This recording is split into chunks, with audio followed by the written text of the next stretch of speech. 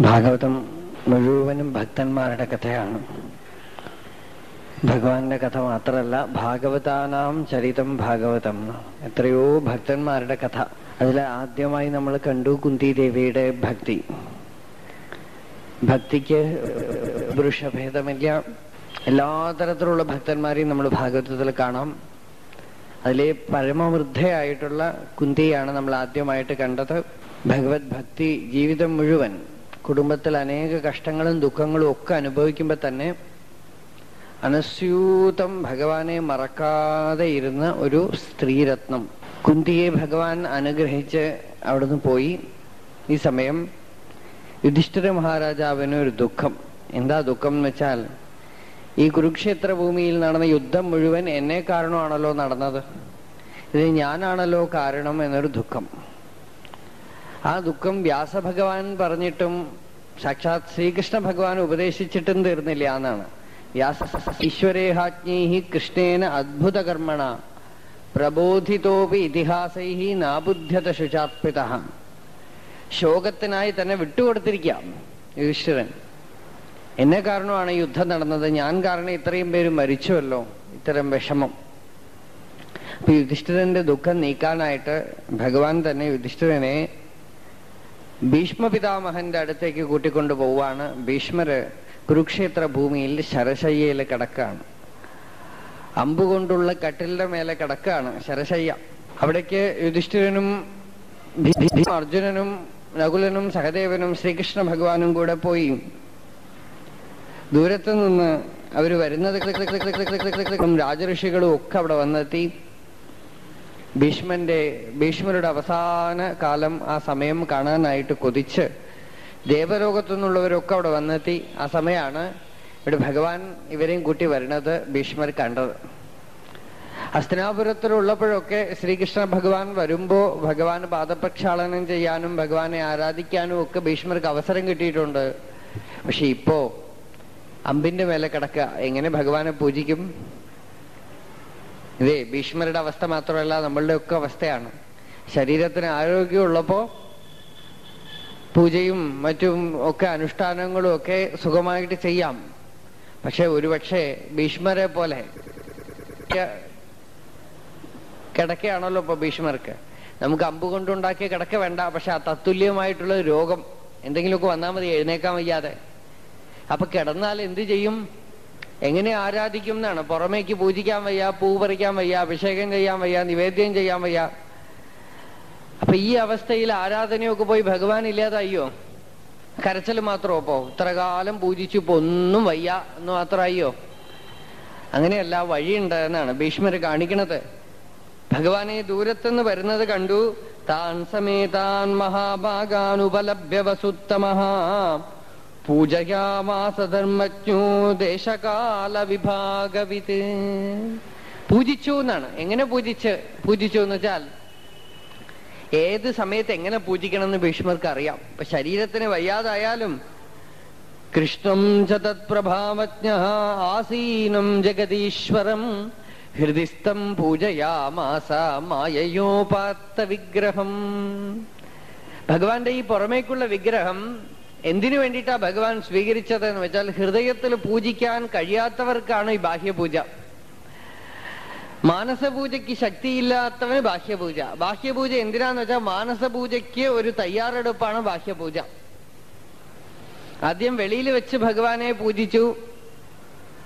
പിന്നെ ക്രമേണ ദിവസം ബാഹ്യപൂജ കഴിഞ്ഞാൽ ഒരു പത്ത് മിനിറ്റ് നേരം എന്നിട്ട് പുറമേക്കൊക്കെ യാത്രയൊക്കെ പോകുമ്പോൾ ബാഹ്യപൂജ ചെയ്യാൻ പറ്റാത്ത അവസരത്തിലും ബസ്സിൽ ഇരുന്നിട്ടോ ട്രെയിനിൽ ഇരുന്നിട്ടോ മാനസപൂജയിൽ പിശുക്കേ വേണ്ടല്ലോ. ബാഹ്യപൂജയിൽ വേണമെങ്കിൽ അല്പം കുറച്ച് പിശുക്കൊക്കെ കാണിക്കും.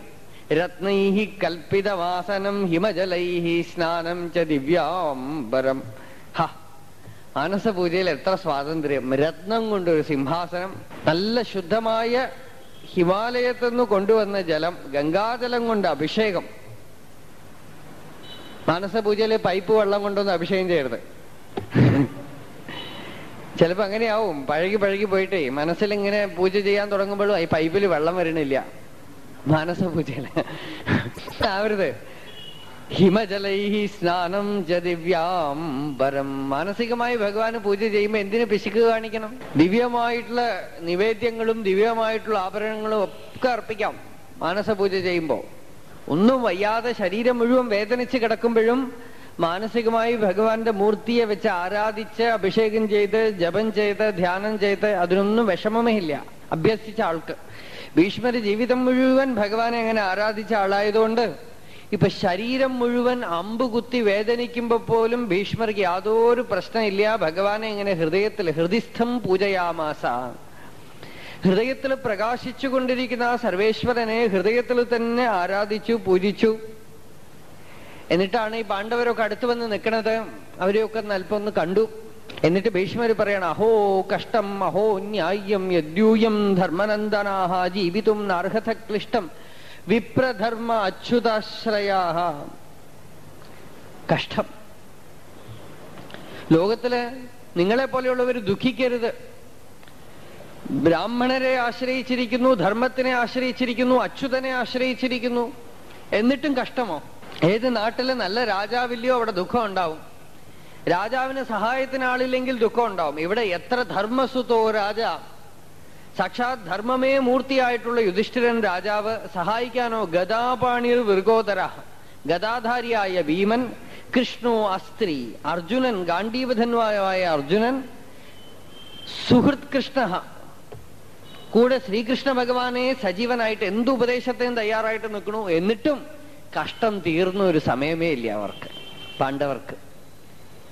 ഭീഷ്മര് പറയാണ് ഇത്രയൊക്കെ ഉണ്ടായിരുന്നിട്ടും അനുഭവിക്കേണ്ടത് അനുഭവത്തിനെ മാറ്റിവെക്കാൻ കഴിയണില്ലെങ്കിൽ എന്തു പറയാം? പ്രാരബ്ധത്തിനെ ആർക്ക് നീക്കി വെക്കാൻ സാധിക്കും? കാലോഹി ദുരതിക്രമ എന്നാണ് പ്രാരബ്ധം ആർക്ക് വേണ്ട വെക്കാൻ സാധിക്കും? പ്രാരബ്ധപ്പടി എന്ത് അനുഭവിക്കാനുണ്ടോ അനുഭവിച്ചേ ഒക്കൂ എന്നാ തോന്നണത്. ഇങ്ങനെ പറഞ്ഞുകൊണ്ടിരുന്ന ഭീഷ്മര് യുധിഷ്ഠിരനെ അടുത്ത് വിളിച്ചു യുധിഷ്ഠിരാം ഈ അടുത്ത് നിൽക്കുന്ന കൃഷ്ണൻ ആരാണറിയോ നിങ്ങൾ വെറുതെ പറ്റിക്കപ്പെടരുത്. മായ കൊണ്ട് മോഹിക്കരുത്. അമ്മാവന്റെ മകനാണെന്നും നിങ്ങളുടെ സുഹൃത്താണെന്നും സಚಿവനാണെന്നും സാരഥിയാണെന്നും ദൂതനാണെന്നും ഒക്കെ കരുതിയില്ലേ? യേശവൈ ഭഗവാൻ സാക്ഷാത് ആദ്യോ നാരായണ പുമാൻ. മോഹയൻ മായയാ ലോകം ഗൂഢശരതി വൃഷ്ണിഷു. ഏഷ വൈ ഭഗവാൻ സാക്ഷാത്. ഈ കൃഷ്ണൻ സാക്ഷാത് ഈശ്വരനാണ് ഭഗവാനാണ്. മായ കൊണ്ട് ഗൂഢമായി വൃഷ്ണിവംശത്തിൽ ഒരു യാദവനെ പോലെ സഞ്ചരിക്കുന്നു. യേശവൈ ഭഗവാൻ സാക്ഷാത് ആദ്യോ നാരായണ പുമാൻ.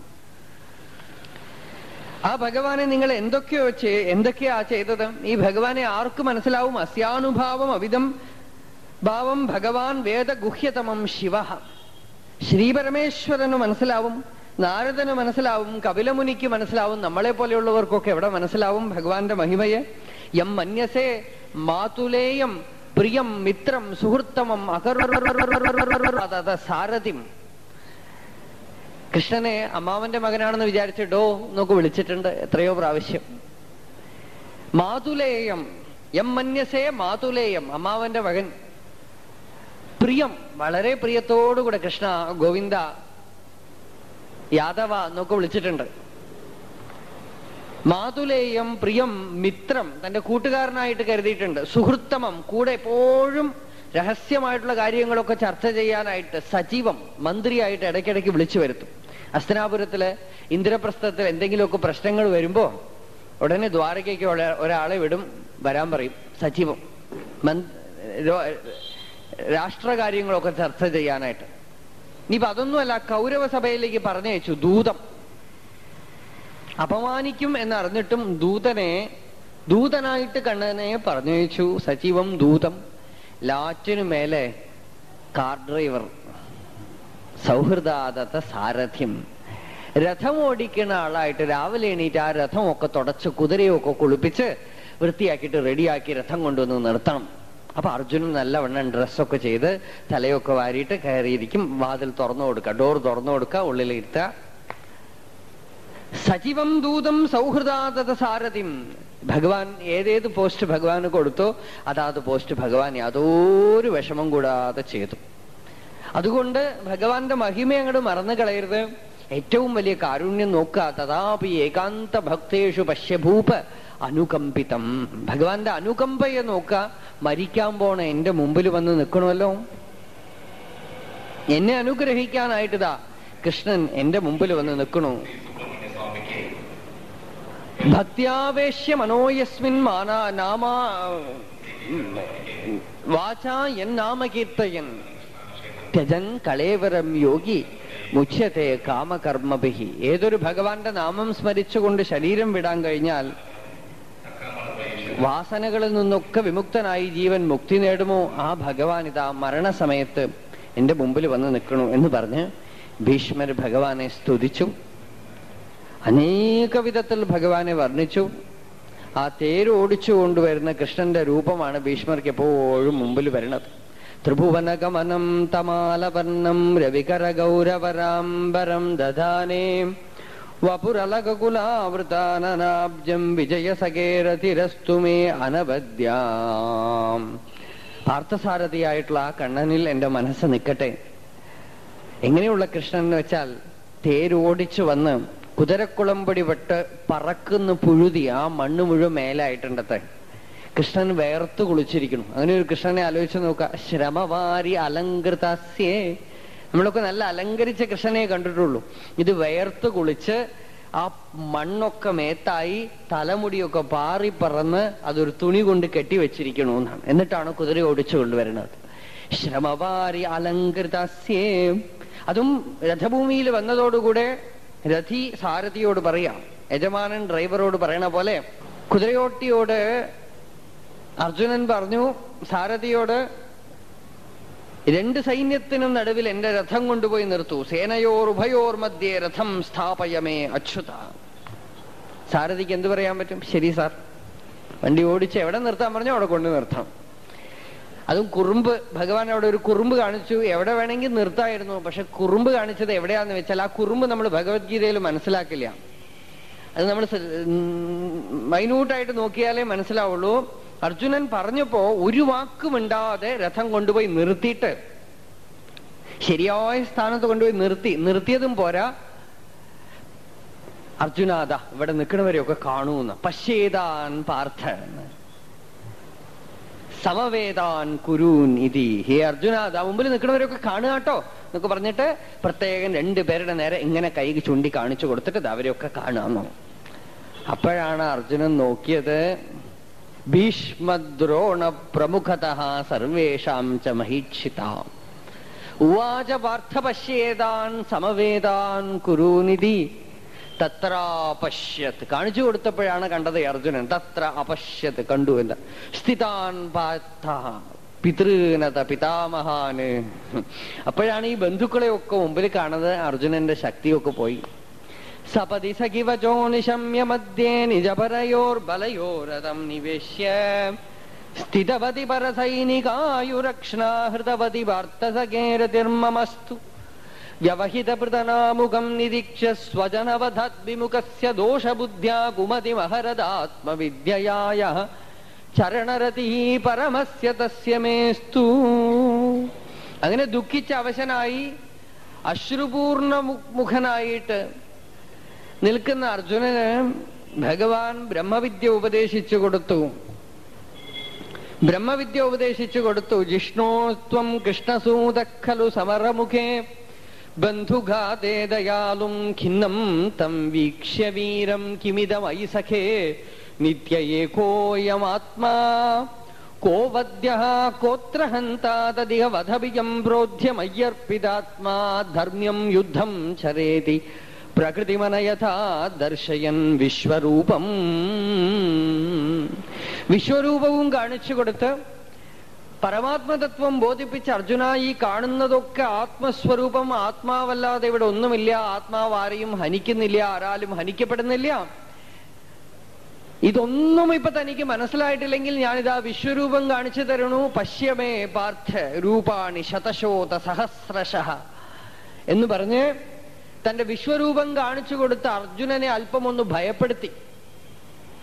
പശ്യ ഇഹൈകസ്തം ജഗത് കൃത്സ്നം എന്നാണ്. തന്റെ മുമ്പിൽ ആ നിൽക്കുന്ന സ്ഥലത്ത് ചരാചരങ്ങളെ മുഴുവൻ കണ്ട അർജുനൻ പേടിച്ച് ഭീതം പ്രപന്നം ഭയന്ന് വിറച്ചു അർജുനൻ അഖ്യാഹിമേ ഗോഭവാൻ ഉഗ്രരൂപ എന്നാണ് ചോദിക്കണത് അങ്ങനെ ഉഗ്രരൂപം കണ്ട് പേടിച്ച അർജുനന് അവസാനം പറഞ്ഞു പേടിക്കണ്ടാട്ടോ ഇത്രയൊന്നും വിഷമിക്കാനില്ല. സർവധർമാൻ പരിത്യജ്യ മാമേകം ശരണം വ്രജ. അഹം ത്വാ സർവപാപേഭ്യോ മോക്ഷയിഷ്യാമി മാശുച എല്ലാം ഉപദേശിച്ചിട്ട് പറഞ്ഞു പേടിക്കണ്ടാട്ടോ ഇപ്പൊ എന്റെ വൈഭവം നീ കണ്ടില്ലേ ഇനി അങ്ങോട്ട് ശരണാഗതി ചെയ്തോളാം. അങ്ങോട്ട് സർവവും ത്വാമഹം ശരണം ഗത എന്ന് പറഞ്ഞ് ഭഗവാന്റെ മുമ്പിൽ അങ്ങോട്ട് വീണുകൊടുത്താൽ അഭയം സർവഭൂതേഭ്യോ ദദാം ഏതത് വ്രതം മമ. അഭയം തരുന്നു ഞാൻ. ഭയപ്പെടാനൊന്നുമില്ല. എന്ന് പറഞ്ഞ ആ ഭഗവാന്റെ ആ ഗീതാ തത്വം മുഴുവൻ ഭഗവാൻ ഇവിടെ ഉപദേശിച്ചു കൊടുത്തതൊക്കെ ഭീഷ്മർ ആലോചിക്കാം. യുദ്ധഭൂമിയിൽ ദൂരത്ത് നിന്ന് അർജുനന്റെ ഭാവവും കൃഷ്ണന്റെ ഉപദേശിക്കുന്ന ഭാവവും ഒക്കെ കണ്ടു തന്നെ ഭീഷ്മര് മനസ്സിലാക്കി ഉപദേശത്തിന്റെ മർമ്മം. ആ ഭീഷ്മര് പറയാണ് ഭഗവാനെ യുദ്ധത്തിൽ ആയുധം എടുക്കില്ല എന്ന് പറഞ്ഞ് പ്രതിജ്ഞ ചെയ്ത അങ്ങയെ കൊണ്ട് ആയുധം എടുപ്പിക്കും എന്ന് ഞാൻ ദുര്യോധനന്റെ മുമ്പിൽ വെച്ച് പ്രതിജ്ഞ ചെയ്തു. അപ്പൊ അങ്ങയുടെ പ്രതിജ്ഞ ലംഘിച്ചും എന്റെ പ്രതിജ്ഞ സത്യമാക്കാനായിട്ട് അങ്ങ് ആയുധം എടുത്തുവല്ലോ സ്വനിഗമം അപഹായ മത്പ്രതിജ്ഞാം ഋതം അധികർത്തും അവപ്ലുതോ രഥസ്ഥ. അതെങ്ങനെയാന്ന് വെച്ചാൽ ദുര്യോധനന്റെ മുമ്പിൽ വെച്ച് പ്രതിജ്ഞ ചെയ്തു. ഇന്ന് ഞാൻ ആയുധം എടുക്കില്ല എന്ന് പറഞ്ഞ് കൃഷ്ണനെ കൊണ്ട് ആയുധം എടുപ്പിക്കും ഇല്ലെങ്കിൽ യുധിഷ്ഠിരനെ പിടിച്ച് കെട്ടിക്കൊണ്ടുവരാം. ഈ രണ്ടിലൊന്ന്.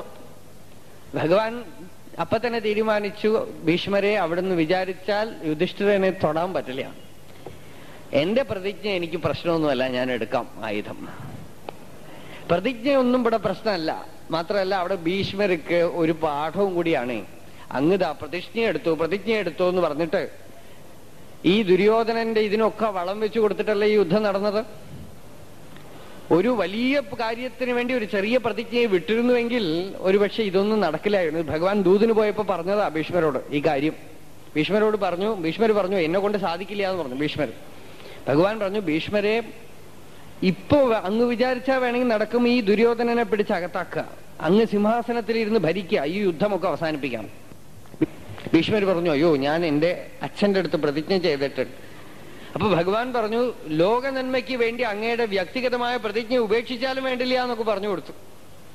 ഭീഷ്മരൻ പിടിച്ചില്ല. പക്ഷെ എന്തായാലും എത്ര വക്രമായാലും ഒരു നിഷ്ഠയുണ്ടെങ്കിൽ ഭഗവാൻ അവരെ അനുഗ്ര- അനുഗ്രഹിക്കും. അപ്പൊ ഭീഷ്മരുടെ മുമ്പിൽ ഭഗവാൻ തന്റെ പ്രതിജ്ഞയൊക്കെ ലംഘിച്ചു. അടുത്ത ദിവസം ഭീഷ്മർ ആക്രമിക്കാൻ തുടങ്ങിയപ്പോ ഒരു നിവൃത്തിയില്ല. അർജുനനെ വിളിച്ചുകൊണ്ട് വന്നു യുധിഷ്ഠിരൻ. ഭീഷ്മർ അല്ലെങ്കിൽ ഇന്നത്തെ കൊണ്ട് പാണ്ഡവ സൈന്യത്തിനെ മുഴുവൻ തകർക്കും എന്നുള്ള നിലയായപ്പോ അർജുനനെ വിളിച്ചോണ്ട് വന്നു. അർജുനൻ കയ്യിൽ ഗാന്ഡീവം എടുത്തു. ഗാന്ഡീവം എടുത്തതും ഭീഷ്മർ ഞാണ് പൊട്ടിച്ചു. അസ്ത്രമെടുത്തതും അസ്ത്രത്തിനെ കയ്യിൽ വെക്കാൻ സമ്മതിച്ച് ചുവട്ടിൽ വീണു അസ്ത്രം അർജുനന്റെ കയ്യിൽ നിന്ന് അർജുനന്റെ മേലെ മുഴുവൻ അസ്ത്രം കൊണ്ട് മൂടിയ അവസരത്തിൽ അർജുനനാണെങ്കിൽ മുത്തശ്ശൻ എന്നുള്ള വിചാരം പോവുകയില്ല. യുദ്ധത്തിന് വരുമ്പോ മുത്തശ്ശനാണ് എന്ന് പറഞ്ഞുള്ള വിചാരം വന്നാൽ അമ്പ് വെച്ച് ഗാന്ഡീവത്തിൽ വലിച്ചു വിട്ടാൽ പോലും ഭീഷ്മരുടെ മുമ്പിൽ പുഷ്പം പോലെ ചെന്ന് വീഴും. ആ അവസ്ഥയിൽ ഭഗവാൻ പലമുറ അർജുനനോട് പറഞ്ഞു ഈ ഭാവം അരുത്. അവർക്കൊന്നും നിങ്ങൾ ബന്ധുക്കളാണെന്നുള്ള വിചാരത്തിലല്ല അവർ യുദ്ധം ചെയ്യണത്. പക്ഷെ അർജുനന് ആ മാറ്റാൻ കഴിഞ്ഞില്ല. അപ്പോഴാണ് കൃഷ്ണൻ രഥത്തിന്റെ കയർ അവിടെ ചുവട്ടിലിട്ട് കുതിര ഓടിക്കുന്ന കയറും ചാട്ടവാറും ഒക്കെ അവിടെ ചുവട്ടിലിട്ട് അവിടുന്ന് രഥത്തുനിന്ന് എടുത്തു ചാടി മേലെ കിടക്കുന്ന ഉത്തരിയും അങ്ങനെ പറന്ന് വീഴാം സ്വനിഗമമപഹായ മത്പ്രതിജ്ഞാമൃതം അധികർത്തും അവപ്ലുതോരതസ്ഥ അഭ്യയാചലദ്ഗുഹു ഹരിരിവ ഹന്തുമിഭം ഗത ഉത്തരീയ. ഉത്തരീയം അങ്ങനെ വീണു. പറന്ന് വീഴ ഉത്തരീയം. അവിടുന്ന് അങ്ങനെ ചാടി പുറപ്പെട്ട് കയ്യിൽ രഥചക്രവുമായിട്ട് ഇങ്ങനെ ചാടി വരികയാണ് ഭഗവാൻ. അത് കണ്ടതും ഭീഷ്മർ പറഞ്ഞു ഭഗവാനെ വരൂ വരൂ. ആ കൈ കൊണ്ട് മരിക്കുകയാണെങ്കിൽ ഇനി ഉത്തരായണമൊന്നും ദക്ഷിണായനം ഉത്തരായണോ ഒന്നും പ്രശ്നമല്ല. തന്റെ ര- അമ്പും വില്ലും ഒക്കെ ചുവട്ടിൽ വെച്ച് തൊഴുതു നിന്നും അപ്പോഴാണ് അർജുനൻ ഭഗവാന്റെ കാലിൽ കെട്ടിപ്പിടിച്ചുകൊണ്ട് പറഞ്ഞു ഭഗവാനെ അരുത് അരുത്. ഈ ധർമ്മക്ഷേത്രമായ കുരുക്ഷേത്രത്തിൽ വെച്ച് അവിടുന്ന് പ്രതിജ്ഞാലംഘനം ചെയ്തു. അർജുനനെ കാരണം ഈ പ്രതിജ്ഞാലംഘനം ചെയ്തു എന്ന് വരുത്തരുത്. ഭഗവാൻ പറഞ്ഞു അർജുന എനിക്കിതൊന്നും പ്രശ്നമല്ല. ഞാൻ ത്രിഗുണാതീതനാണ്. കർത്തും അകർത്തും അന്യഥാവാകർത്തും ശക്യ. എന്തും ചെയ്യാൻ എനിക്ക് ശക്തനാണ്. ഈ പ്രതിജ്ഞയൊന്നും പ്രശ്നമല്ല. ഇന്നത്തെ കൊണ്ട് ഞാൻ ഈ യുദ്ധം അവസാനിപ്പിക്കുന്നുണ്ട്. അപ്പോ ഭീഷ്മര് അർജുനൻ വീണ്ടും ഭഗവാനോട് പലമുറ പ്രാർത്ഥിച്ചപ്പോ ഞാൻ യുദ്ധം ചെയ്യാം ഭഗവാനെ ഞാൻ യുദ്ധം ചെയ്യാം. ഇനിയും എന്നെ പരീക്ഷിക്കരുത് എന്ന് പറഞ്ഞ് അർജുനൻ കരഞ്ഞപ്പോ ഭീഷ്മരെ നോക്കി ഒന്ന് ചിരിച്ചുകൊണ്ട് ഭഗവാൻ രഥത്തിൽ കയറിയത് അങ്ങയുടെ പ്രതിജ്ഞയും പൂർത്തിയായല്ലോ. ഞാൻ ആയുധം എടുത്തുവല്ലോ. അപ്പോ ആ രൂപം എന്റെ മുമ്പിൽ നിൽക്കുന്നു. ഇങ്ങനെ ഭഗവാനെ സ്തുതിച്ച് സ്തുതിച്ച് ഭീഷ്മരുടെ മനസ്സങ്ങനെ ലയിച്ചു. മധുരഭാവത്തിലും ഭഗവാനെ സ്തുതിച്ചു ക്രമേണ ശാന്തഭാവത്തിലും സ്തുതിച്ചു. പിന്നെ സർവ ശരീരത്തിന്റെ ഉള്ളിലും പ്രകാശിക്കുന്ന ആത്മാവായി ഭഗവാനെ സ്തുതിച്ചു. തമിമഹമജം ശരീരഭാജാം ഹൃതി ഹൃതി തിഷ്ഠിതമാത്മകൽപ്പിതാനാം. പ്രതിദൃശമിവ നൈകഥാർക്കമേകം സമധിഗതോസ്മി വിധൂത ഭേദമോഹ ഭേദബുദ്ധിയൊക്കെ പോയി അദ്വൈത ആത്മസ്വരൂപമായി ഭഗവാനെ ഞാനിതാ കാണുന്നു എന്ന് പറഞ്ഞ് ഭീഷ്മര് നിർഗുണമായ ബ്രഹ്മത്തിൽ ലയിച്ചു. ആകാശത്തിൽ സന്ധ്യാകാലത്തിൽ പക്ഷികളൊക്കെ ശബ്ദം നിലച്ച് അവരവരുടെ കൂട്ടിൽ ചെന്ന് കയറുന്ന പോലെ അവിടെ ഒരു നിശ്ചലത പരന്നു. എല്ലാവരും ഭീഷ്മരെ നമസ്കരിച്ച് കുറച്ചു നേരം ദുഃഖിതരായില്ലെങ്കിലും വീണ്ടും തിരിച്ചുപോയി ഹസ്തനാപുരത്തിൽ ചെന്ന് ഭരണം ആരംഭിച്ചു യുധിഷ്ഠിരൻ. ഇവിടെ ഇങ്ങനെ ഭീഷ്മസ്തുതിയോടുകൂടെ നമ്മളിപ്പോ ഇവിടെ നിർത്തി ഗോവിന്ദനാമ സങ്കീർത്തനം ഗോവിന്ദ ഗോവിന്ദ.